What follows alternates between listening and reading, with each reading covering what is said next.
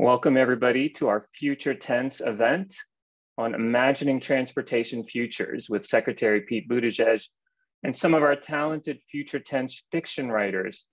Um, I'm Paul Butler. I'm the President and Chief Transformation Officer here at New America. Um, I'll just give you a little bit of background and Future Tense is a project of New America, Arizona State University, and Slate Magazine. Uh, we explore the impact of technology on society and how we live. And we're so excited today for the conversation. Um, Future Tense publishes ideas journalism on this theme and hosts conversations like this one, all under the tagline, A Citizen's Guide to the Future. A few years ago, in alliance with our partners at ASU Science Center for Science and Imagination, we decided to add speculative fiction to our Citizen's Guide to the Future toolkit, um, publishing a monthly fiction story and response essay on Slate.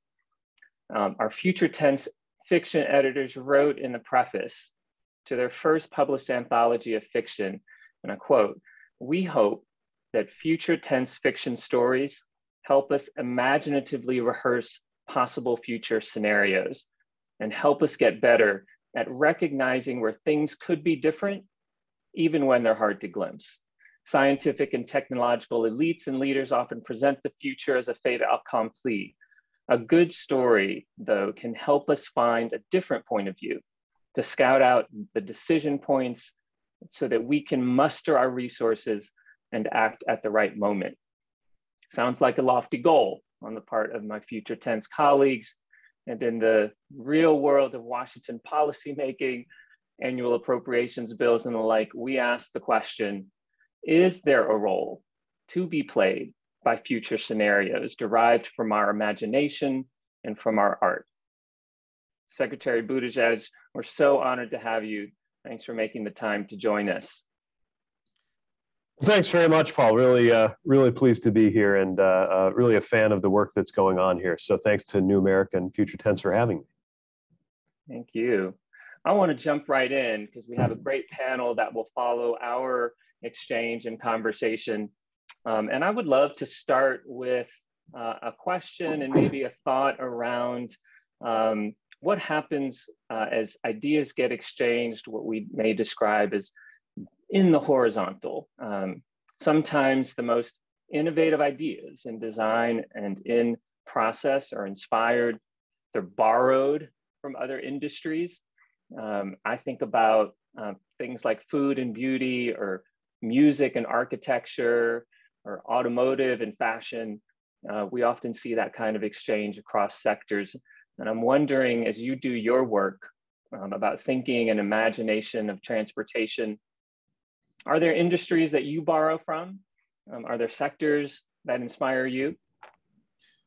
Yeah, what it's it's a great place to begin. Um, first of all, let, let me offer a, a, reflection, which is it's striking how much of our imagination about the future is centered on transportation, at least in terms of the imagery of it. Right? You look at uh, how the establishing shot of a, a, a sci-fi show or, or, or film, for example, tells you you're in the future. And, and usually what establishes it is there's different ways people are getting around. There's there's levitating cars or there's starships or something like that. And so we've always rightly or wrongly had a disproportionate sense that what tells us we're in the future and not the present or what marks the present as different from the past is is how we get around but of course, the, the reality is a lot of the most profound technologies that affect our lives, uh, including, uh, ironically, the most profound technologies that affect transportation itself, aren't necessarily vehicles or what's on board vehicles.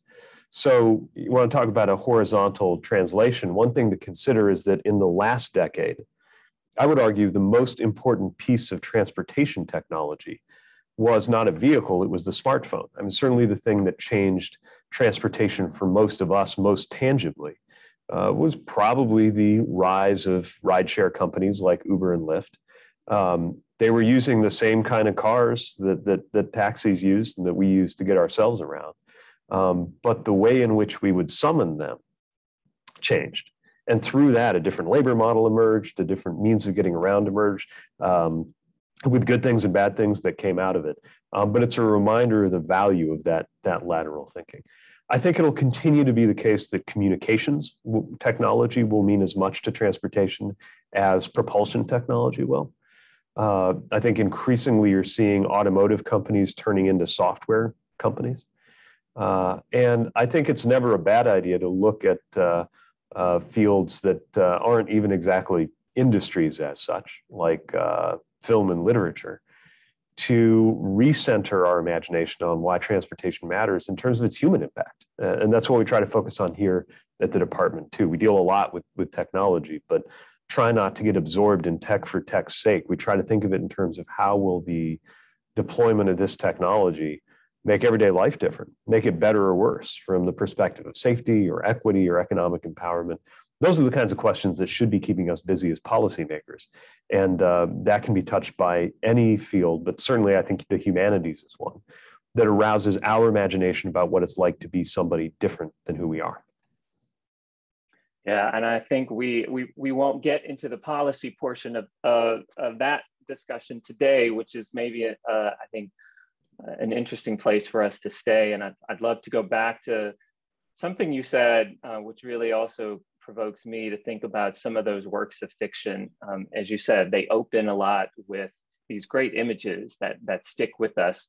Um, I want to go back there and just as I think about things like the Flintstones, uh, as I think about the Jetsons, the Matrix, Back to the Future, um, mm-hmm. you're absolutely right that that these images and stories that involve transportation really do create an impression about the future uh, and the present. Um, I'm wondering if you if you think about you know your favorite works of fiction that have uh, transportation elements uh, what sticks with you? One, one, tell us what is one of those favorite works that that made an impression on you, and particularly in the role that you have now. Look, I came up on Star Trek, and and so uh, which is obviously very much about transportation, right? Uh, from from the shuttles to the uh, uh to to the the starships to the that that vision of the transporter. That's the uh, first time we see long distance transportation that doesn't involve a vehicle at all.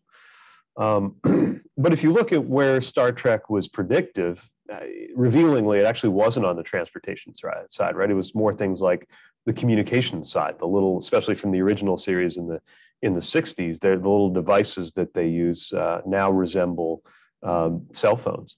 Um, sensing technology, uh, if you think about a medical tricorder and how that relates to some of the uh, most impressive things happening in life sciences, um, actually more uh, on the nose than uh, uh, than most of what we saw there from a transportation perspective. Um, I do think it's interesting to think about the the uh, Jetsons and the Flintstones, right? Both of them, unlike Star Trek with their transporters, uh, have the presumption of the the conveyance that moves you from from point A to point B. There's the family car, and the Jetsons, it's the flying car, right? In uh, the Flintstones, it's the foot propelled vehicle interestingly, we've moved actually in both directions. We've come to realize active transportation isn't a primitive thing, it's a very advanced thing. And, and, and we're doing more with bicycles and, and, and self propelled transportation in that regard. Haven't quite gotten to flying cars yet. Um, but uh, uh, but we have seen that that what what seems to change more than the um, uh, than, than the uh, uh, you know fact of the vehicle is its propulsion, uh, and as we're moving into an electric vehicle future, that's something to think about. But what even the Simpsons didn't, or sorry, the uh, uh, the Jetsons didn't. We could have a whole other conversation on the Simpsons. Um, what even the Jetsons didn't picture is that uh, you know by the time anybody's got a flying car, uh, George Jetson probably doesn't have to drive it. Uh, and uh, and again, it, it's it's revealing that sometimes what matters most is something we weren't really thinking about, which is um, uh, how how we relate to these pieces of transportation technology versus you know what their physical capabilities, like their speed, for example, actually are. That's so interesting, and you're you're elevating something about you know these works of fiction and stories and and time and the compression of time and the elasticity of time, um, which is really fascinating and and and and brings me to another maybe another area of exploration and just reflection. Um, so much of, of the work around transportation has kind of a very present, very real, very now kind of um, needs uh, need state. Um, we have to get from point A to point B and solve issues that are with us in the moment. And then on the other hand, the work itself, the output of the work, uh, in many cases, bridges, tunnels, that you know, if we think very fundamentally about it, has such permanence um, and such long duration. Um, and then if you think about flying cars, I mean, we're forecasting way into the future. So we have to solve at these very, you know, kind of binary points or wide points, if you will, the very present, the very now, and the very far in the future. Uh, how do you think about that? How do you resolve that in your day to day? Yeah, you've nailed a big question that we think about a lot because a lot of the things we're building, especially with the new law and the, and the funding that we have in the bipartisan infrastructure package, these are the means to build cathedrals of infrastructure. And the nature of a cathedral is that it's, uh, it takes a long time to complete and then it's in service for a very long time. We rely on the cathedrals of infrastructure from past generations, right? We're figuring out what to not just iconic things like uh, uh, the Golden Gate Bridge, but uh, we're figuring out what to do about the Baltimore and Potomac tunnels. They're 149 years old, and a lot of people depend on them right now uh, for our passenger rail travel. Just give you one example. And so we have to make decisions that are a bit of a bet on the future. And at the same time, we don't want to bet the farm on the future turning out one way or the other. So, what I spend a lot of time thinking about is how can we deploy our capital in an agile or nimble way so that some of these decisions will make sense even if we don't quite know how commuting patterns are going to work in seven years, let alone 50. But we know that certain things are going to be true. We know that you're going to need bridges to get from uh, one side of a, a, physical barrier to another. Uh, we know that we're going to need resources and hubs where people can come together to access modes of transportation, even if those modes evolve. Uh, things like train stations or town squares or transit hubs or airports and ports. So what we've got to do is invest in the things we know we're going to need no matter what, and then create room for other things to happen that might be very difficult to picture. And the best way to do that is to not think about the, the asset first, but to think about the people that it'll affect first. And, and to think really big about the effect that your investments are going to have. Give you an example around high-speed rail uh, or any really good rail service. You mentioned getting from point A to point B, and part of the appeal is that if I'm going from somewhere, if I if, if I live in Washington and I'm going to uh, Newport, Rhode Island, uh, I might have the option one day of being able to do it on a faster, uh, sleeker train than I do today. that's true. But what's really interesting about a new rail service uh, is that it might actually change. It might actually introduce a point C to your picture. In other words, it might become possible for you as somebody who works in a given community. To live in a different community than you would have otherwise just because that train was there. In fact, over, over the sweep of decades, communities may come into existence just because a certain commuting option materialized, whether we're talking about a highway interchange uh, or a high speed rail stop or something else. And so, what we really got to think about is not just how we create a newer, maybe better, faster, cleaner, safer way to get from point A to point B, but how the points A, B, C, D, and E change when we make good choices about how infrastructure ought to work. That's the level of thinking we got to invite ourselves to do, which is not always easy, given the, uh, as you mentioned, the world of annual appropriations and, and uh, immediate state of good repair concerns that are preoccupying a lot of the people who work on infrastructure for a living today. That's such a wonderful point. That that introduction of, of point C and and kind of the, the emergence of that, that third point. Um, really also about um, the people changing even, um, who move between points A, B, and C. And, and a lot of the conversation we've had internally is around um, not just transportation, but mobility. Mm-hmm. Um, not just physical mobility, but social mobility. Um, and I can imagine as you're talking uh, and sharing that reflection that in a lot of ways, that point C could also be a reflection of how the people are evolving as well in terms of social mobility. Um, and we think about equity, as you mentioned earlier, uh, earlier, um, accessibility and affordability. Um, Absolutely. Look, there's always been a deep connection between social and economic mobility. And physical mobility. It's part of why access to mobility is so important and it's often so politically contested, right? It's not an accident, in my view, that uh, one of the signal moments of the civil rights movement was uh, the, the bus boycott and, and uh, these struggles over who got equitable access to transportation, not just the dignified and equal use of transportation assets, but uh, often even whether people were served at all. And uh, you know, frankly, you see the implications of mobility most dramatically when it is denied.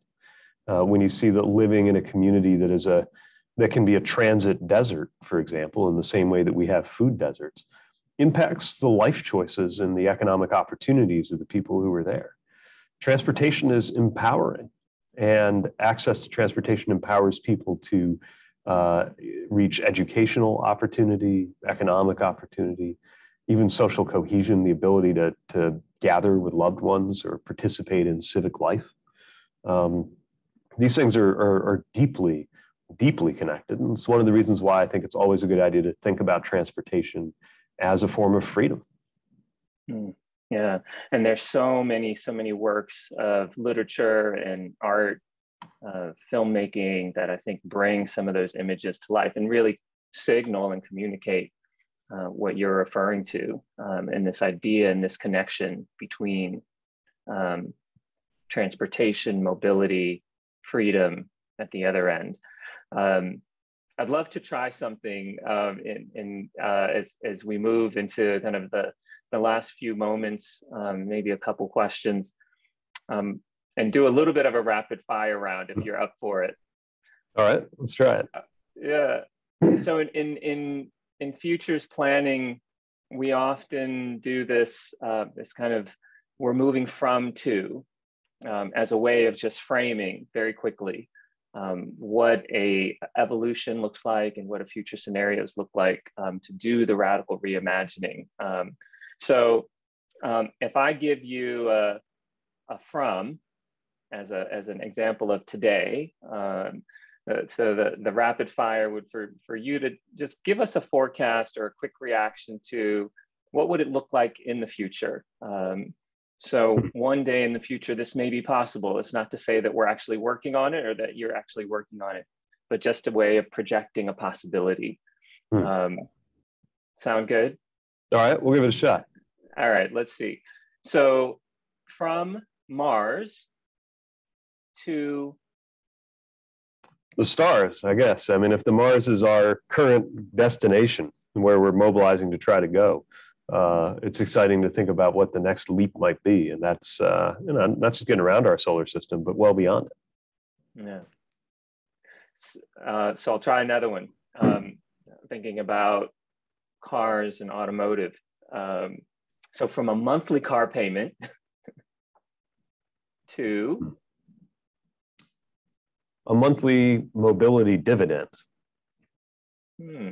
And what I mean by that is if we're looking way out into the future, where we have things like, let's imagine distributed energy generation, where you have resources at your house, whether it's a dramatically more efficient, uh, even solar panels and wind resources than we have today, or something we can't even imagine. But just on your, you know, uh, from your home, you can put more into the transportation system than you get out of it through things like energy. So that you would participate in creating so much value, they'd actually get a net dividend on it instead of paying into it on a net basis. Uh, now that's pretty far out. Uh, a, a, more intermediate goal might be from a monthly car payment to uh, a, a monthly transportation payment that's quite a bit less than a car payment that covers everything. And we're actually seeing certain glimmers of this now.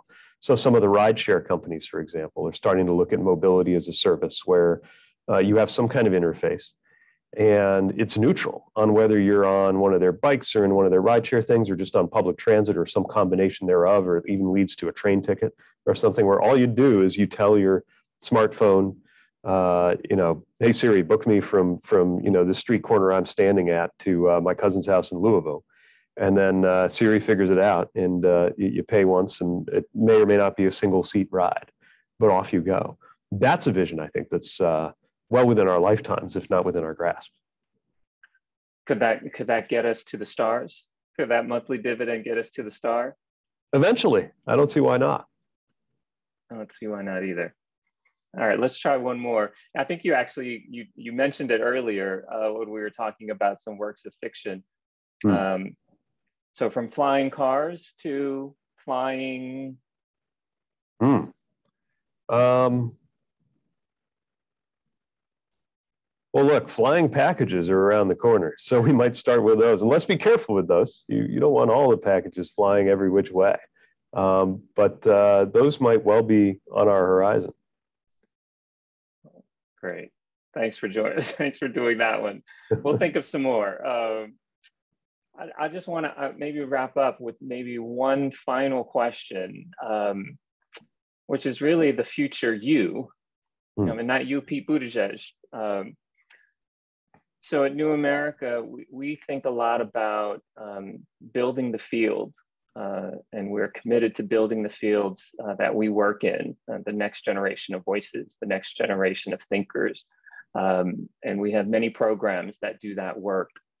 Um, if you reflect uh, 50 years from now on the Secretary of Transportation, uh, so who'll be sitting in your seat, um, could you tell us who you imagine might be there? What set of skills would they need to have? What experiences would they have had by that point?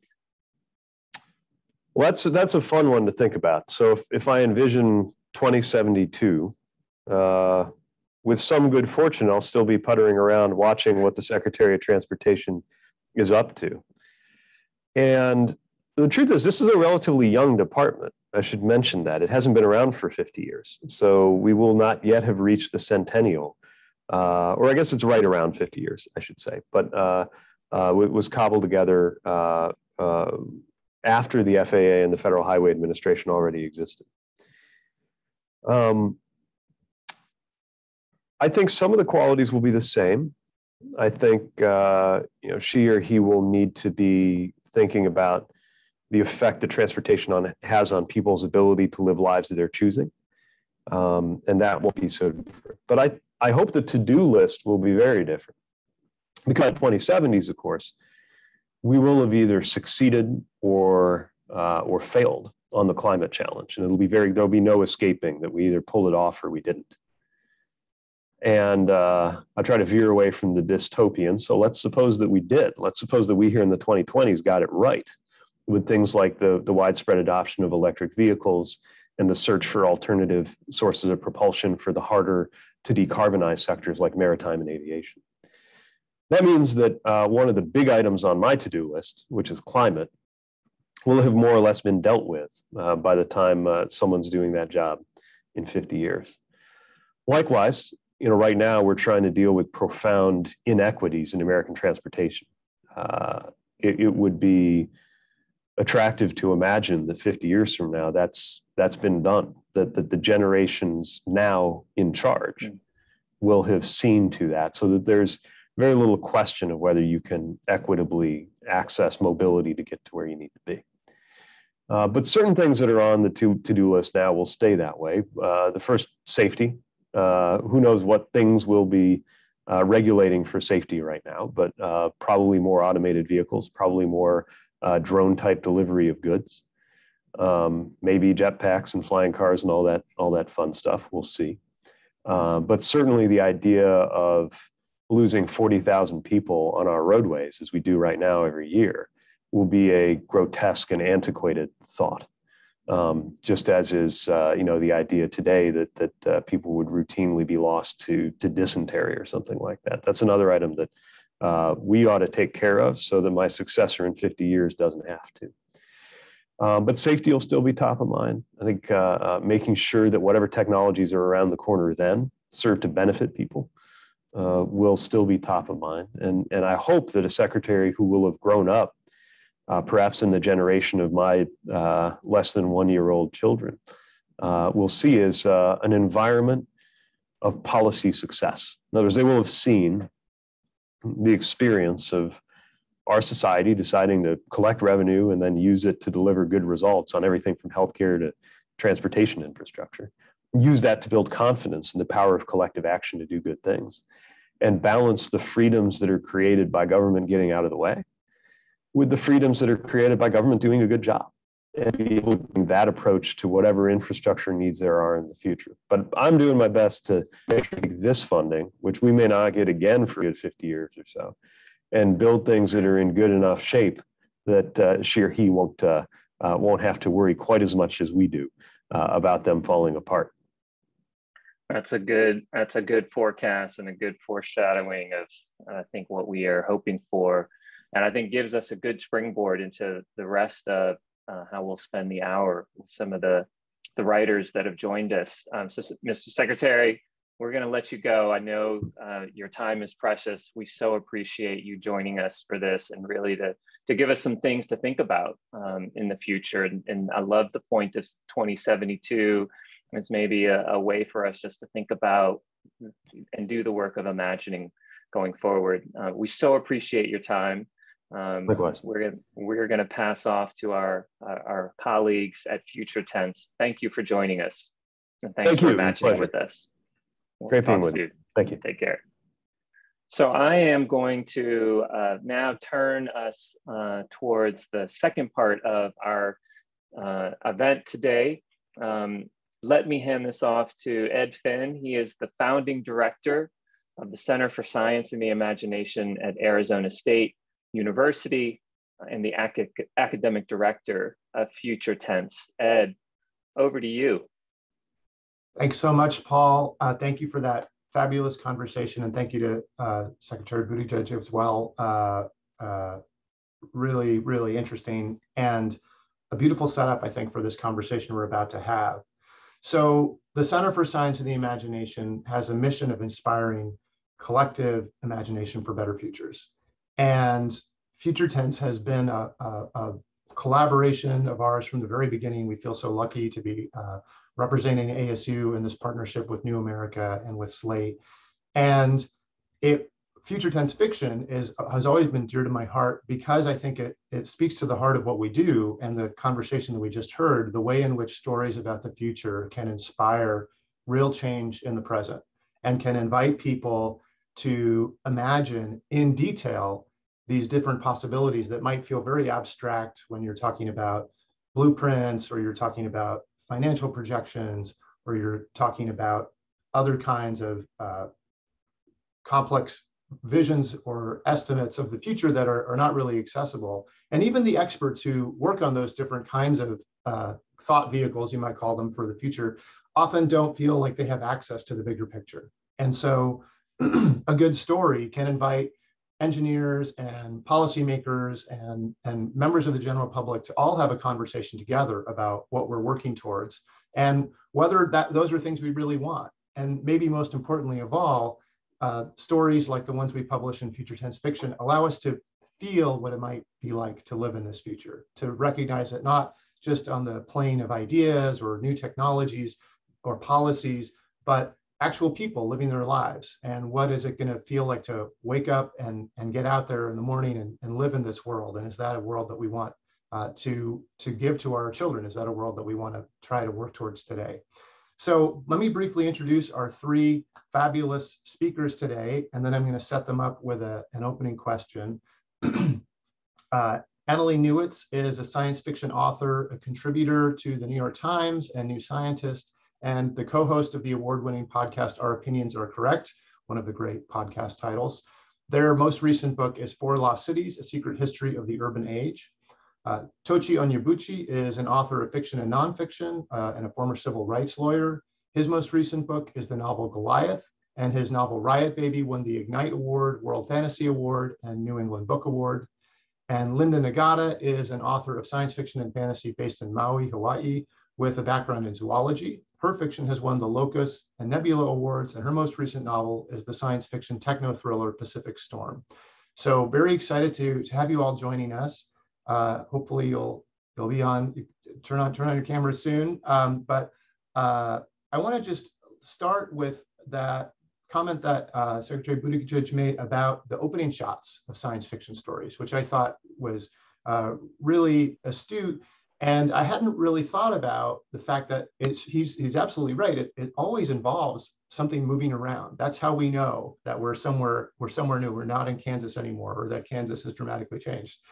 And uh, I wanted to ask, as people who have done a lot of opening scenes for your stories and different science fictional worlds that you've imagined, how you think about that is why, why do you think that transportation is so essential to our feeling of you know oh things have changed and and is this something that you found yourself doing in a story that you've written um, i'm gonna let's see why, why don't we we start with you tochi um, it's I mean, it's interesting. It's funny. It's a it's a point that I hadn't really thought of, which is particularly egregious given my filmic background. Um, but oftentimes, I think of these opening shots in the context of the genre that I'm sort of playing around in, in addition to science fiction and fantasy. So Goliath, for instance, uh, particularly the beginning, um, is a lot of commentary on the Western. And you know the western is somebody comes to town or somebody leaves town. And so we have that beginning of jonathan coming from the space colonies into an irradiated new haven and it's about his journey and the things that he's sort of thinking of and that's you know guy comes to town. And alternatively how to pay reparations the documentary the story that i wrote for future tense um, i wanted to play around in the heist genre a little bit. You know, you have this sort of motley crew of people coming together to pull off this you know, it sounds it sounds weird to call it a heist because it's like reparations and ultimately it's about like equity. If there's anything heist like about it, it's in a sort of Robin Hood fashion. Um, but yeah, you have you have these people sitting down talking about yeah. So we you know we had this we had this plan to like pay reparations, um, launch this reparations plan in our town, and so it's interesting. Like that's that's oftentimes uh, you know what i'm trying to do with opening scenes is sort of set a, a, you know get the reader in a posture of intrigue so to speak and i think it's really interesting that you you also tie it to genre and that there are uh, sort of there's there's a transportation genre link as well which i, I hadn't really thought about uh, how about you yeah i mean it is interesting that we center vehicles so much in our fiction. Um, I, I also found that to be a really interesting point. Um, I find that um, it, it is embarrassing because I'm thinking about my novels, and all of them do start with transit. Um, I am personally obsessed with transit, so that is not um, too surprising. Um, but I find that it's a good way to take readers through the world um, and when when I was first working on my nonfiction book about cities, four lost cities, I talked to um, an architect uh, who'd done a lot of urban planning, and one of the things that he said to me was, when you go to a new city, what you should do is get on the transit downtown, whatever transit, and just take it to the end of the line, and that will tell you everything you need to know about this city. Um, and I did that. Actually, the next city I went to after that was Istanbul, and I had an insane adventure on the train, um, which I found really valuable. And so, it, and it showed me sort of social relations. It showed me different neighborhoods. It showed me how well the transit was maintained, which at that time was not super well. Um, and so when I started my novel Autonomous, um, which is set about 150 years in the future, um, my character is a pirate um, a pharmaceutical pirate, and she has a submarine that she is um, smuggling drugs in uh, across the Arctic Sea. And so that was easy, right? Because it allowed me to introduce the fact that the Arctic Sea is ice free. Um, it allowed me to introduce the kind of corporate entities in the world who are struggling over who gets to manufacture drugs and who gets to have those drugs. And so for me, it was kind of just this fun, sneaky way to be like, here you are in this particular future with these sorts of social relations and all of them kind of congeal around this vehicle which has like a, a, driver who has a particular goal and who kind of fits into these larger pictures um, and in the piece i wrote for future tense um, when robot and crow saved east st louis we start with a drone uh, who's in st louis proper in a wealthy neighborhood and then goes across the river to east st louis and again we immediately see um, the different kinds of social relationships in those areas. Um, and I think that's what's really great about thinking about transit through science fiction is, is that it lets you evoke um, all these different kinds of social institutions and how they affect infrastructure and transit, like economic stuff, uh, social stuff, um, a lot of the things that um, Secretary Buttigieg was talking about, um, about when we think about transit, we have to think about communities and how they change over time. So I think it's um, it's a sneaky device that I didn't realize I was using. So um, so that's quite uh, quite interesting to be thinking about going forward. oh yes, a pirate she. Uh, this seems like a great transition, Linda, to your story, which of the three is probably the most explicitly about transportation. Uh, so how do you think about uh, th these questions in your work and if you found yourself doing some of these same moves? I find that the the technology in the story it, it tends to evolve. Um, when I'm trying to to create a story, I always I'm always keeping in mind that the future is not one thing, quote unquote. And so we need different elements to try to build that um, sense of, of possible reality. So the, the whole transit system that I was writing about in the story was actually evolved in my novel, Pacific Storm. And um, that was, again, it was, I don't want to call it window dressing, but it's kind of one of those cues that the, the story is not now. Um, recently, I had a project that I was working on where we were dealing with um, artificial intelligence. And um, there was a lot of information about what the status of the field is now. And what I found was that what the status of the field is now is not quite where we are with science fiction. In other words, writing about it now felt like old science fiction. So you have to be able to push the, the idea ahead in time to make it feel like you actually are in the future. So um, with that transit system, I just came up with um, um, it's an automated taxi system.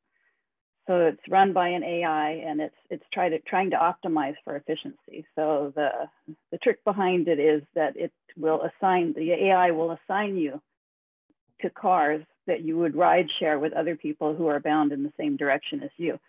And um, you don't necessarily know who they are. It does also offer kind of a, a I don't want to say a class system, but a behavior system. So if you you have a, a good social rating, you get to ride with um, people with good social ratings. If not, you get downgraded, and that's um, so. And you're kind of limited to who you meet unless something very strange starts to happen. Yeah, I love uh, your point about how it's easy to write science fiction about that, that's sort of outmoded compared to what's really happening in terms of infrastructure and transportation. I always think about the fact that the Jetson still looks like the future to us. It still feels like a Tomorrowland sort of future, and we're still talking about where are my flying cars, where are my jetpacks? You know, we never, we, we still haven't gotten them. And uh, you make this wonderful point, and I think your story does a, a great job of, of exploring the strangeness of how these tr- real world transportation systems in the near future could be dramatically different from the the the tropes that we've been working over in our in our stories for for decades now. And i want to connect this back to another comment that we, we had in the, the earlier conversation with secretary buttigieg about the the interesting the long range planning you know you think about transportation and infrastructure is one of the few areas where governments really make these big long term bets on the future big assumptions and because it's the only way to do it right? You have to make those decisions and those decisions have huge consequences uh, many of them surprising and unexpected. And you've all touched a little bit already on how you you've thought about that in or how that's played out in in writing that you've done uh, stories that you've created.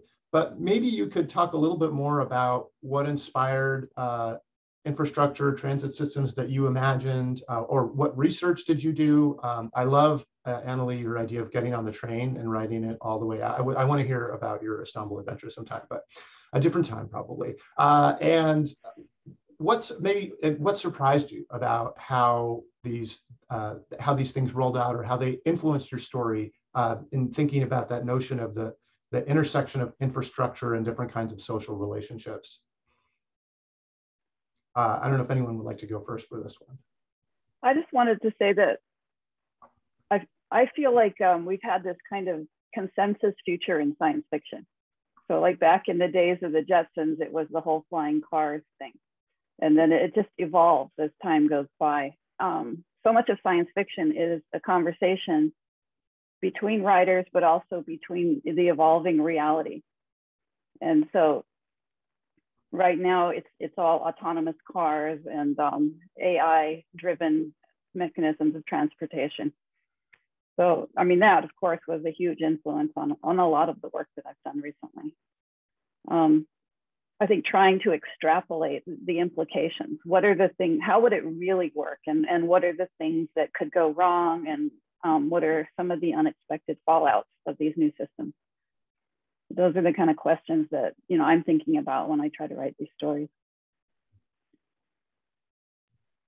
Yeah, it's with regards to social relations, I I distinctly remember it must have been maybe four years back or so. Um, there was a rail extension from New Haven to Hartford, uh, the CT rail extension. So, you know, if you were, you know, we had Metro North to get you between New Haven and and Grand Central, uh, and this extension uh, basically made it a lot easier and a lot cheaper to get from New Haven to all the way to Springfield with various stops in between. And you know, my family lives in the Hartford area. And before then, even though I lived in New Haven, um, you know, if I was without a car, I had to depend on very sporadic Amtrak times to go home. The CT rail operated like almost, depending on the day, every single hour and so the ease with which I was able to go home and see my mom uh, increased greatly. And I found that my my life and my quality of life improved drastically as a result of increased access to home cooked meals. Um, but you know, I think that's you know when we talk about you know particularly uh, the effects on social relations with regards to technological innovations or technological improvement. Um, particularly in the realm of transportation, that's something that always comes to mind. I have greater access to my family because of this rail extension. Um, and another thing that the previous conversation made me think of was that when we think of transportation, it's not just about people, it's the transport of goods. Um, and, the, you know, in the beginning, I was wondering, hmm, how does my reparation story tie into this issue of transportation, right? Um, but there's a whole dispersal element of it. It's not just the calculation of an amount that you would send to individual citizens residing in your metropole. How do you get that money to these people? And one of the side effects of the whole plan to pay reparations is that, you know, because it's sort of zoned, you know, with this complicated algorithm involving zip codes and whatnot, a lot of it is based on where people live and all of a sudden, when people are able to afford to live somewhere else, that changes and they go live somewhere else where they have access to a different school system or what have you. Um, and that has all sorts of domino effects because then you have to bring into account the changing social landscape of your city. And if you've calculated this this sort of attempt at equity based on where people live in a very sort of static way that like it all these different things are sort of implicated. And so i was very you know it's it's very interesting to think about future impacts with regards to these sorts of things. I think the point about introducing a point c um, you know as a consequence of your work in improving transit between point a and point b is very well taken in that regard I think this is um, such an interesting question because uh, so I, am going to talk about a novel that I have that's coming out in a few months. Um, so I'm afraid that you can't actually read it to um, verify what I'm saying is true.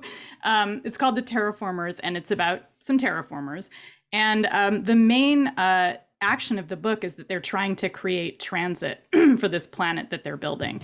So they, and there's a bunch of different groups who are, you know, obviously fighting over how this is going to work.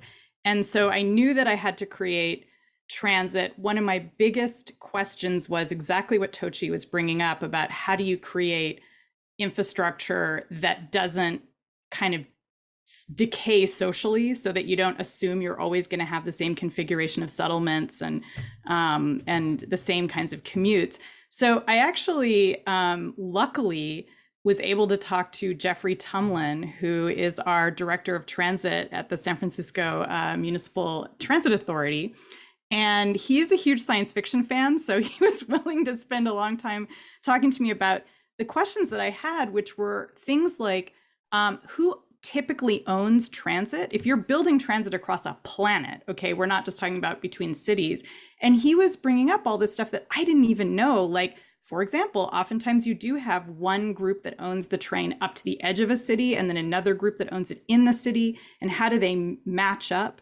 Um, I was also really interested in how you figure out where to put stations. Um, I play the game Mini Metro. So if you've ever wanted to build, uh, drive yourself crazy building uh, train stations, it's just a casual game on your phone and you kind of put stations in and people get angry if the stations aren't in the right place and stuff like that. So um, one of the things that Jeffrey said to me was, um, because I wanted to have flying transit. And he was like, well, people hate it when things fly over the city. So if you're going to have flying transit, it has to go under the city um, you know, as you as as you come in. Um, but I ended up um, after talking to him for a while and thinking about it, I came up with flying trains um, because then you don't you're not tied to a track infrastructure. Uh, it's also less environmentally impactful. My characters go around and do things like take environmental samples. There's a whole section of the book where all they're doing is surveying people in the city about where they want to go, uh, because that's the kind of exciting science fiction I write. um, and you know, just surveying people in the town about commuting to downtown areas. Um, so the flying trains are also artificially intelligent and they form their own government um, eventually. And so um, it becomes this interesting question about how does transit as a social force interact with the communities on the planet? Um, and it's uh, it it really became um, you know an exercise in thinking about I want to say nation building, although they're not really building nations. It's far in the future. Um, and so I won't give spoilers, but basically, yeah, the way that I came up with a t- form of transit that would be sustainable and um, and sort of able to to shift to meet new um, future configurations of, of human settlement was create sentient flying trains um, and then you know let the train um, fall in love with someone because I guess that's what happens in the future. So. I love the idea of a, of a Congress of trains or a collective of trains. Uh, that's really beautiful.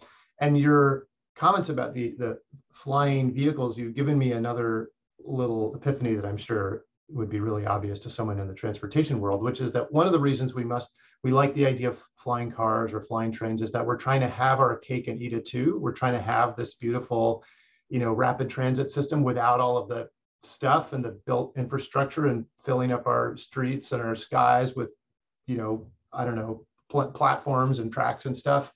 And so the future is a place where you can you have all that perfect mobility, but you don't have to deal with the logistics and the sunk costs of, of making that stuff possible. So that which brings me to another thing I want to bring up. Uh, and you got me thinking about this, Tochi, talking about the, the transformation of your of, of your own time through through this new rail line that opened. And some advice that when my wife graduated from law school was the, the, the, centerpiece the first big piece of advice that the, the graduation speaker had which was consider the commute. Consider the commute for the rest of your life. And that could be a really important factor in your overall happiness and how everything else plays out. And it's really good advice you know that we we we spend so much time getting around and often we don't we don't re- recognize how much of an investment not just in times in terms of time but emotional labor and stress and all the other things physical work sometimes involved in commuting. And so this got me thinking that uh, the the role of transportation is really just as much about time as it is about space and giving people these different opportunities so, okay, now my pivot. Speaking of time, I want to talk about the the, the future and this this idea of science fiction storytelling, future visions in relation to actual public policy. how do you think science fictional visions of the future can be helpful in thinking through potential policy interventions? Uh, and then on the other hand, what are some of the hazards in trying to tie fiction and reality together like this? Um, I think it's it, you know it's helpful because it's thought experiments. It's it's a cheap way to make mistakes. Um, it you can explore different ideas, different implications. Um, like you know, my taxi story was an example because I was very surprised that several people seem to think this idea of being assigned to a taxi was some kind of terrible imposition. Um, I did not expect that. so, you know, there's ways of finding it, it's a way of just kind of far off experimenting and seeing how people react to new ideas. Um, dangers of tying it to maybe the danger is that we think things will be easy. It's it's fairly fairly easy to write a story, very hard to build a new train system. So I think it's it's just a good way to kind of confront these ideas.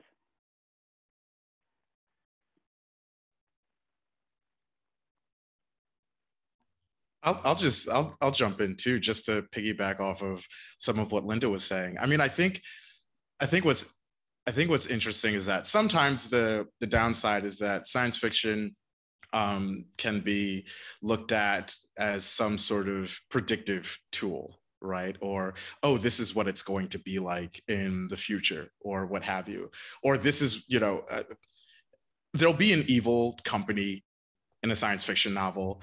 And the lesson will be okay, don't name your company after this evil company. Like this company is evil. Don't do this. Don't be evil. And then some, you know, Lex, some real life Lex Luthor, minus the charm, um, will have read that novel and been like, oh, that was a really cool company. I'm going to name my company after the evil company. And it's like, come on, guy. Like, come, come on, really? Um, but I do think there was a very interesting phrase that I heard at the very beginning of this event when Mr. Butler was talking about the preface to the Future Tense anthology, and that was um, dress rehearsal. Um, and that's very much the spirit in which I thought of my reparation story. I was like, okay, this is a super fantastical idea. Uh, there's no way that this would happen in real life, but what if, right? Like, what if what if a city, you know, what if a portion of city leadership decided to take seriously the issue of reparations? What might that look like? How might we go about that? Um, what are the, you know, both the political implications, but how do you try to get, how do you anticipate and try to get around, you know, what you might you know what you might conceive of as some of the political obstacles to that? How would you think about disbursement? How would you think about where the money would go you know versus you know individuals versus institutions. Like would you send it to schools? Would you send it to you know the heads of school districts? Would you send it to individuals living in those school districts? Like it's it was really it was really interesting to think through those questions with regards to something that could conceivably happen tomorrow. You know there could be somebody in in a state legislature somewhere who is at work right now on like not a bill but even just in conversation with others about okay this is something that maybe we should think about. Like i think it was maybe a little after the story came out there was in the news oh, I wish I could. I, am blanking on the details. I feel like it was somewhere in the Midwest, but there was a town that was like, okay, we're going to seriously contemplate a reparation scheme. And I was like, wait a second, that I, you know, it, it was supposed to be a bit farther out, like, you know, this thing actually happening. But I don't know. I think dress rehearsal is an interesting, a, a very interesting way to think about the ways in which science fiction can you know adjust or inform our thinking on these issues? Yeah actually um, california has a, a, state reparations task force that is um, getting going. They're having conversations. We'll see if anybody gets any money um, but that would be nice. Um, one of the, I think one of the dangers of um, using science fiction to think about the future is that sometimes when a story is really great, like say a story of a flying car, um, we get kind of like calcified around that story and it almost holds us back um, I think Linda was saying that, you know, flying cars were kind of a, a, previous vision of the future, and now we're thinking about autonomous cars. Um, but I think I still hear people say to me, Where's my flying car? And I'm like, you know, what about like the fact that you have um, video phones everywhere now? Like, aren't you excited about that? Or like, also, don't you want something other than a car? Like, what, you know, but we we're still kind of stuck in that what what people often call a retro future um, and so i think um, that's why it's really important that we continue to um, read science fiction that's contemporary and that we keep focusing on you know kind of new writing and new storytelling um, including video games and things like that. Um, i think the good thing about um, using science fiction to think about the future is um, you know, when we do kind of public policy planning, I think one of the big hurdles is taking like the a, a, like looking at sort of second order effects often that's just out of scope of your project. You know you're not looking at like well how might a community be affected in 50 years? Um, and i think like um, uh, for folks who watched the new dune movie or who read dune or who are familiar with the duneverse um, that's a really interesting story about transit because it looks not just at like the super beautiful spaceships, especially in the new film, um, but also at uh, propulsion systems and the the energy, the fuel that we use to to do all of our fancy space travel, the kinds of um, groups that are formed, the kinds of government organizations that are formed around transit. There's a whole guild of spacers who've like physically altered their bodies to be able to um, to propel spaceships. And so that's the kind of second order effect that I think is really interesting that science fiction gives us is like, look, you get a whole economy around this new form of transit and a whole new form of colonialism, a whole new form of um, oppression and reparations that will be needed. Um, in fact, you could even argue that in some sense, Dune is a little bit about environmental reparations. You know, it's about demanding that um, that uh, you know I, don't know Harkonnens off Dune or whatever Harkonnens get off of Arrakis. Um, everybody off of Arrakis is which is that's the planet where the energy comes from. Anyway, so yeah, I think I think that's um, incredibly valuable as long as you don't get stuck with one vision of the future. I'm here for all of the Dune equity and justice conversations, and that is a beautiful setup to how does this play out in other narratives around the future, how can science fiction help us address accessibility? How can this help? How can stories about these possible futures address the needs of people today with disabilities or who might be in other ways excluded or disadvantaged by current systems? Um, I mean, I, I might jump in with a kind of a, a mushy gushy answer. Um, last year i i and um, another uh, fantastic writer madeline ashby. We had the opportunity to collaborate with the smithsonian um, through you know asu's incredible and and very sort of dynamic uh, csi uh, on their on their futures exhibit. And so this was uh, an opportunity to you know on this occasion of the anniversary of the smithsonian imagine what you know what various aspects of life might be like you know set far far far into the future and Madeline and I would write our stories. Um, Brian Miller was the design artist who who crafted the posters that were part of the exhibit, and that coincided with each of our stories. Um, and prior to all of that, we would all um, participate in different workshops with various research institutes affiliated with the Smithsonian or that were part of the Smithsonian. These covered everything from, you know, uh, you know, issues of accessibility to African American history in the United States to uh, bioconservation to, you know, the history of women in the sciences, all sorts of things. And one of the one of perhaps the greatest effects that I had with regards to those workshops was that all the stories that I ended up writing had an optimistic bent to them.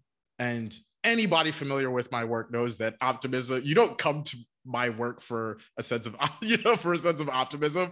Um, it's, uh, you know if there if there is you know any sense of hope that you might leave my work with it's a very sort of charred and uh eviscerated like the type of hope that's that's born of like bare survival um or barely surviving an experience um, but the stories that I ended up writing for for the futures exhibit were incredibly optimistic, and I think a lot of that was just osmosis with regards to the workshops and the the people in these research institutes doing all sorts of incredible and fantastic work, um, and it never seemed to them at least from the tenor of our discussions, like they ever felt that they were Sisyphus pushing the boulder uphill.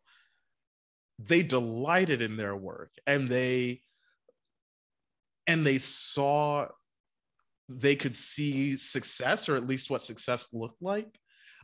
And it was something for them to advance towards. And for so many of these issues it'd be very easy to take a very sort of dystopian cast to them.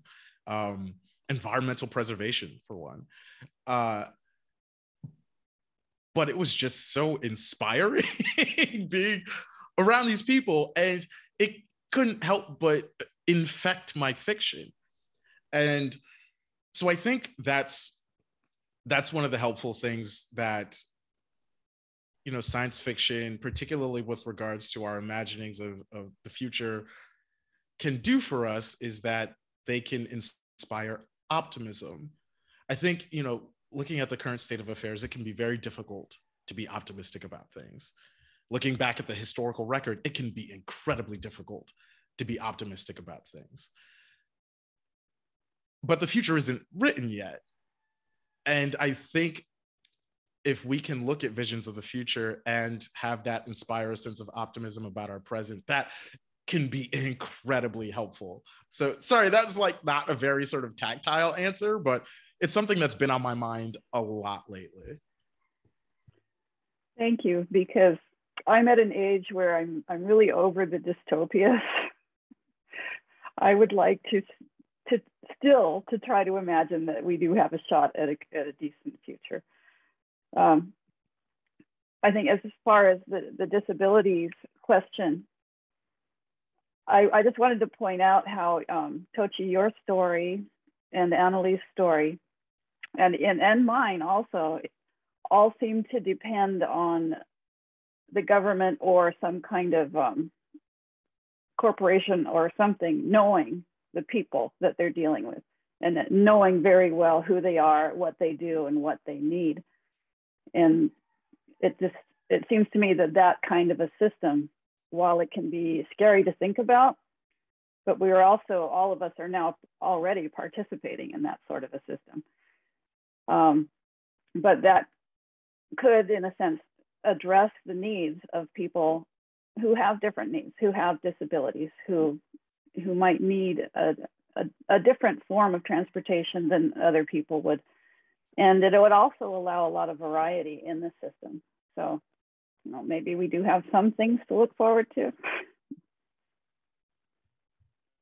Yeah, I think that um, I totally agree with what both Tochi and Linda are saying. And I, I think in my story that I did for Future Tense, which is about the drone that is, um, it's a healthcare drone, uh, and it's it's designed to do health surveillance. So it goes to different places um, in the greater St. Louis area, um, just taking people's temperatures and having them like cough into a, a Kleenex. Um, and the CDC is defunded. Uh, it's a CDC drone, um, and it's just now it's kind of adrift.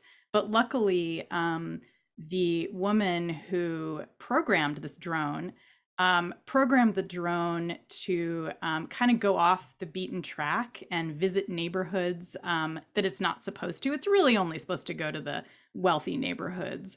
Uh, and uh, but she's from we never know this in the story, but in my head, this character has familiarity with um, shall we say, non elite areas. And so Um, the drone, when it no longer has orders from the CDC, keeps going around in these um, parts of East St. Louis where it's they're basically uh, you know unhoused people who are squatting in buildings, um, and and it discovers an outbreak um, and is able to work with kind of a nonprofit to um, get a vaccine out.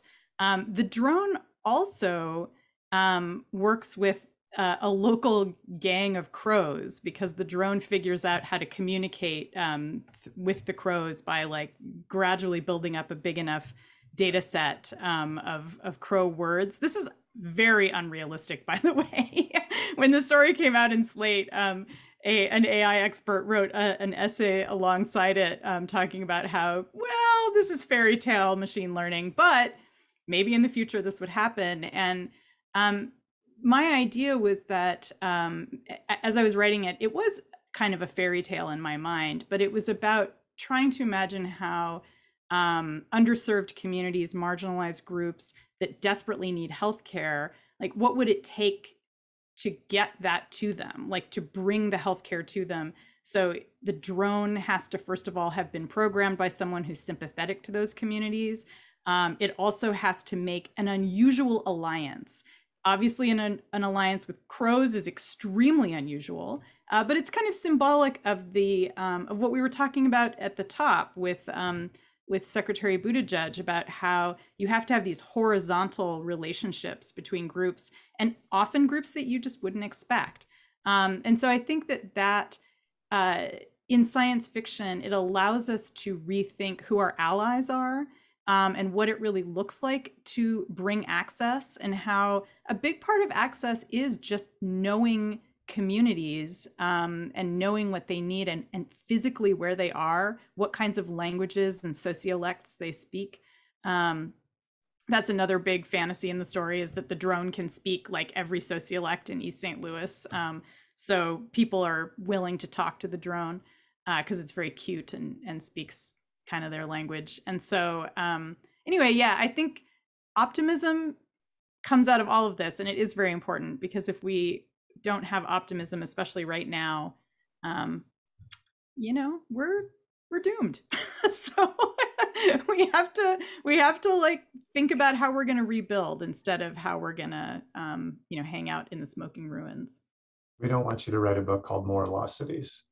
Um, so I completely agree, and I love. Thank you, Tochi, for those lovely comments about uh, the Smithsonian Project and uh, Annalee, what you were saying, uh, and and Linda about the practice of hope, the way in which we we have, I think, a, a kind of moral obligation to to think about what we what, how we can make the world better, how we can make the future better, uh, even though sometimes it can be really hard. And hope is also, it's the most powerful and sometimes the most dangerous thing that humans can do, right? Because hope uh, uh, is one of the, is it, it's one of the, the children of imagination. It's the way that we do impossible things and not all the impossible things we do are, are always good. Uh, but uh, but it's very powerful, and I think we need to practice. You know, we need to get better. And getting back to that idea of the dress rehearsal, I think it's really important to build our collective imagine uh, capacity for imagination, our collective capacity for hope. And one of the best ways to do that is, is to think about history. You know, and all of your stories reflect on and build on history, getting back to Tochi's comments as well. So, and I was really struck by uh, the secretary's comments about thinking about infrastructure history and all these. So America, you know, in the grand scheme of things, is not that old as, as a country, at least in its modern incarnation. And some of the oldest stuff we have is this infrastructure. You know, the the I didn't know those tunnels uh, were 149 years old. That's that's really old. Uh, and so, what lessons can we take from the history of infrastructure, transit, the built environment, and uh, and think of the, that in the context of this the, this this the notion of ideals, uh, thing ideals to work towards or things to avoid. Just another really easy question for you. I don't know. When, whenever transportation infrastructure is mentioned, first, I live in Hawaii. I've lived here for almost all my life. I live on Maui, which is not Honolulu, let's say.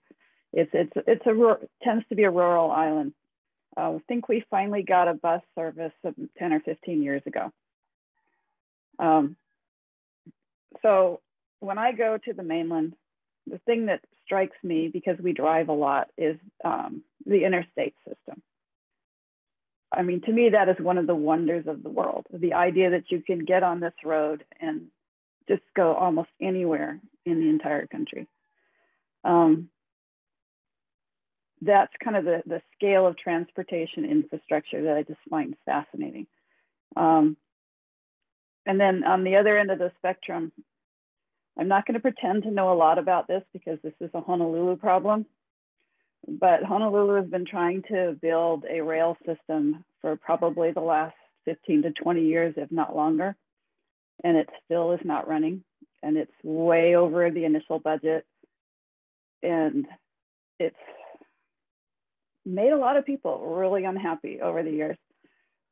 So that kind of infrastructure thinking is just so important to where we're going. And but there's also the thing that you know a lot of people live in cities and and they have problems and they have the potential for a lot of solutions because it's shared among a lot of people. But um, like people like me, I live half an hour outside of town. My transportation options are going to be limited. There's, we do have a bus service, like I said, but from where I live, I'd still have to travel about five miles to get to the first uh, the available bus stop. So it, it's it's interesting about you know what is possible where and when, and then if you start thinking about um, global warming and what we what kind of transportation systems we would need so that we're no longer pumping carbon into the air. You know things begin to change again. Um, airships are very popular in science fiction. Uh, slow going um, zeppelins or whatever. And everybody loves the idea and it is it's a beautiful idea to have this, this quiet ship solar powered crossing the oceans at the same time who's got time to spend weeks in travel. It would be like going back to the victorian era where um, only the wealthy who could take off for say the whole summer might be able to use a system like this. Or you can you can consider it's not just one thing that changes right? Maybe the whole society would have to evolve so that we have a completely different kind of work life balance that would make this sort of system work. So it's questions like that that that i find really interesting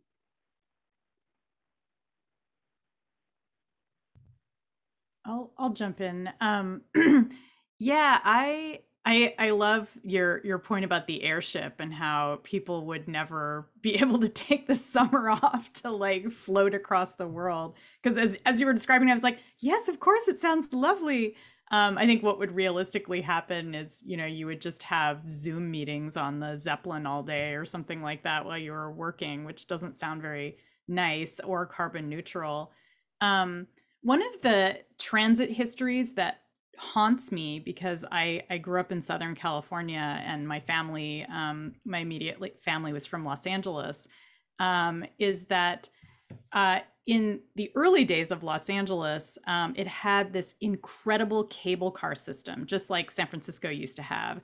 Um, and if you watch like old silent movies, like the famous movie um, with Harold Lloyd from like 19 early 1920s. It's called Safety Last. It has that picture that everyone sees from the silent era of Harold Lloyd like hanging off of a clock, going like, ah!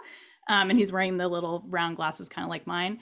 Um, that movie is set kind of in the streets of LA and it's full of these cable cars and they're like part of the sight gags and he's kind of running around on the cable cars. And when you watch that film, you can see how completely cable cars dominated the Los Angeles transit infrastructure. Now, if you go to Los Angeles today, which is like, it's just this dystopia of cars. Um, everything is uh, gridlock.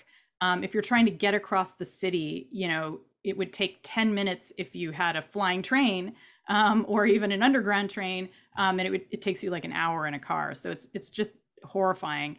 Um, and that infrastructure that was in place in 1923 when Harold Lloyd made that film um, completely transformed in a matter of like 20 years. So to me, what that says is that it is incredibly easy if you have the money, um, the corporate interests in this case to to change the infrastructure. Like it, infrastructure can radically change in like a generation or even half of a generation depending on how you count generations. Um, so that is hopeful um, but I think it is also, as we look to the future, something that is a huge glaring warning sign because uh, it is so easy for um, someone who has a lot of money to come in and just essentially wreck the future for many generations.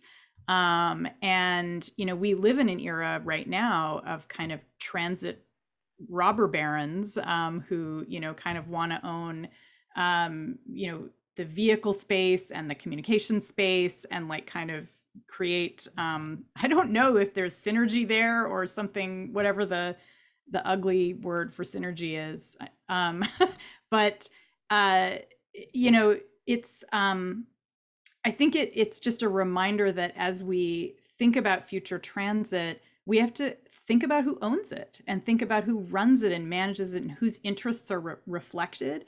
And so um, i i always as i'm imagining future transit i'm always trying to imagine these future transit groups like future um, department of transit um, in order to protect um, you know our settlement spaces where people live to protect people's access um, to protect uh, people's or to protect the environment as well you know because a lot of these corporate interests are not necessarily um, the same as um, you know what say environmental scientists might recommend. So um, so yeah i always just say to myself remember the cable cars that are no longer here. Um, and and let's try to not let that happen again. Yeah uh, speaking of dystopia of cars um, i part of the research of Goliath entailed looking a lot into uh, Robert Moses. Um, basically, if there's a single person who is most responsible for the dystopia that is getting around in New York, New York City, New York State, um, Long Island, it is that man. Um, and what was fascinating about that was that, like, that really rammed home the point that it is possible for a single person to completely reshape a metropole. Um, and not simply by oh being insulated from politics but by literally co-opting the entire political apparatus and he started out as a parks guy like that like he's known for the highways and basically like you know demolishing entire neighborhoods for the sake of making it so a car could get from one place to another more easily. Um, but he his his mandate in the very beginning was okay, I want this part of the city to look pretty. And I want this other part of the city to look pretty. And I don't really care about, you know, part C over there, so they don't get a park. And it it was just it was wild watching watching his I don't even want to say evolution because I don't think he changed. I think he just accrued more and more power and figured out like how to make it happen. There was one point he had over like 10 different titles. He was commissioner of this, head of that, and that made me think a lot about about Annalee's point, particularly during the course of their research, um, thinking about who, what transit authority was responsible for what, or who owned what and like it's and you know you think about metro north and because it crosses state lines you're like okay is it like a new york thing? Is it a connecticut thing? Is it both? Is do they get like territorial about it? Like what's what's the deal going on there? And i mean it's it's it's fascinating to look at the counterfactual with regards to new york. If a fraction of the money that went into creating the traffic jams, the traffic apocalypse that is New York, you know, went into public transit, went into buses, went into the subway system, because there were moments of opportunity where that could have happened. where you know there could have been a more robust um, public transit system but no it just got it, it just got shunted because this guy was like cars are the cars are my favorite mode of transportation and that's all that matters to me. And so i'm going to make it so that that's the supreme mode of getting around in this city. And it was like all him. It's wild because you're like no there had to have been it had to have been a group or he had to have answered to somebody or no he he was he was the answered to guy. Like he, like he just him. It was just him. And you know i'm I, i'm going back to to Annalee's point about the sort of you know the flip side of it all in in being that the you know the swiftness with which a place can be remade can be heartening in and of itself because that means that the problems that we have now can be fixed. And we don't have to wait two generations for that to happen. The other side of it is that oftentimes the the people the institutions that do accrue the power to make those decisions and to make them with the type of speed that is often required for generational change do not often have the best interests of other other people um, at heart. Or often there is a financial impellent that is the supreme motivation um, governing their decisions. And i don't know it was just like it was just really it was interesting doing that research and interesting is maybe the most like sanitized word that i could have applied to my learning about uh, the the dude who was robert moses uh, I want to bring in at least one or two questions from our audience here. So let's try to maybe give uh, brief answers, or maybe even just have one person, uh, one one brave volunteer answer answer these. But this is a great question from Ken. What will be the biggest unintended consequence, good or bad, of our future transportation world? He gives an example of Bitcoin miners resuscitating coal coal factories and coal mines. That's a pretty big one.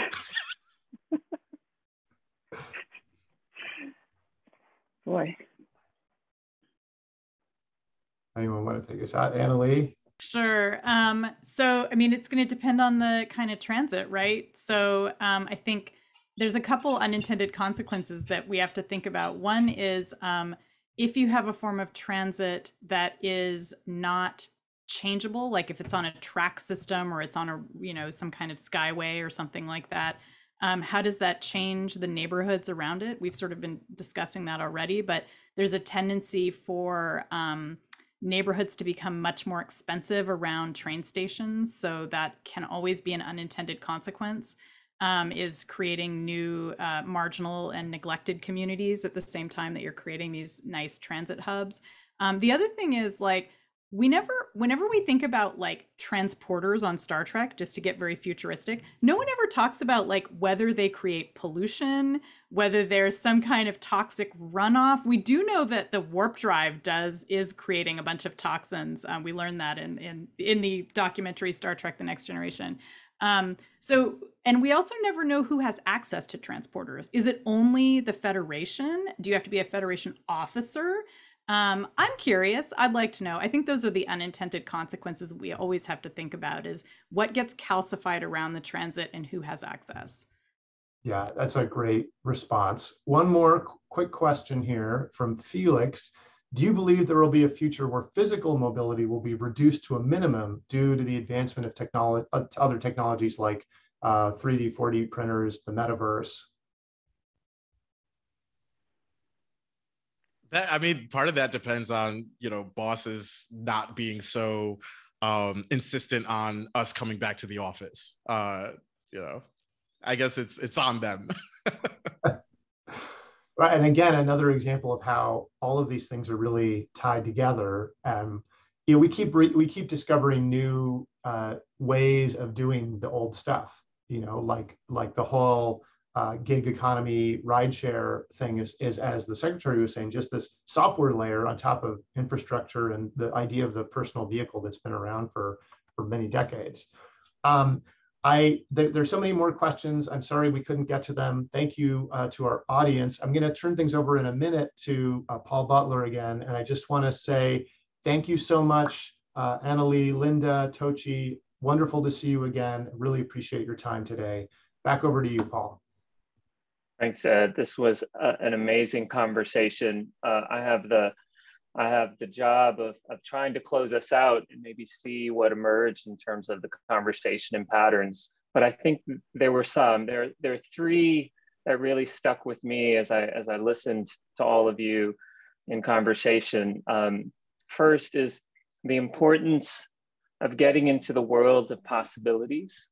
Uh, Linda, you said the future is not just one thing, uh, which really is something that I'm going to hold on to. Uh, Secretary Buttigieg talked about, as we've said here, um, not just point A and point B, but the possibilities of point C um, for new communities and mobility, the importance of equity and connection to that. Um, Linda, even your reflections about Maui, uh, just raising more expansive questions and possibilities about the where and the when. Um, and you also said in your description about the, the AI taxi system, um, just not building a consensus future um, and really pushing us to think beyond the now. Uh, and, and, even Tochi, your, your point you made early on, uh, getting into a posture of intrigue. Um, so I think those are some really important kind of um, reflections, I think, and something to maybe all, for all of us to stay with the second big territory that really lingers with me and which I'll take away is transit as a social force. Uh, Annalee, uh, you have to tell us about your new book uh, and, and please share it when, when it's ready for us. But we talked here about the real effect um, of transportation on relationships and human connectivity. And Tochi, your, your, your story about the new rail in Hartford really gave that, I think, an important dimension. Um, but Annalee, you also, you really, you really cautioned us to think about decay uh, and making sure that transportation doesn't replicate the decay. Uh, so I think that's a that's an important takeaway for us to sit with. And Ed, you put it all together with your question about how to connect science fiction and, and public policy and making sure that connection is real. Um, this is a chief way to test. That's what we said in this conversation to ask the question about what if. Uh, Tochi nodding to your work on reparations. The hard questions can be tackled through this art form. Um, and the ability to make mistakes, Linda, is something that you said with this art form. Um, Annalee, you, you, you stress the importance of allies, um, that this work can really uncover a new view about allies, um, but also a critical lens about ownership um, and deepening our understanding about access. Um, those I think are important takeaways. Um, and, and the importance of stories, uh, but the power of images, uh, I think was something that really stuck with me um, because images and stories can be so powerful. Annalee, you cautioned us not to get stuck in a calcified uh, retro future. Um, and I think that's an important caution as we think about this connection between science fiction and public policy. Um, but I love the spirit of optimism that we all had here um, and the importance of using this uh, art form and this discipline really. Um, as I listen to all of you talk about uh, the specifics of your work, um, this really is a discipline, um, but a space for, as Ed, you said, a practice of hope so I think that idea of continuing to stay in this space of hope and continuously generating new may be the best place for us to end. Uh, so I just want to thank everybody for joining. Um, thank Secretary Buttigieg again and the teams at Future Tense, ASU, Slate, New America, Tochi, Annalee, Linda, Ed, thank you again. And thanks to everybody who joined us for this conversation. Hopefully you all took something from it and we look forward to seeing you all soon. Thanks.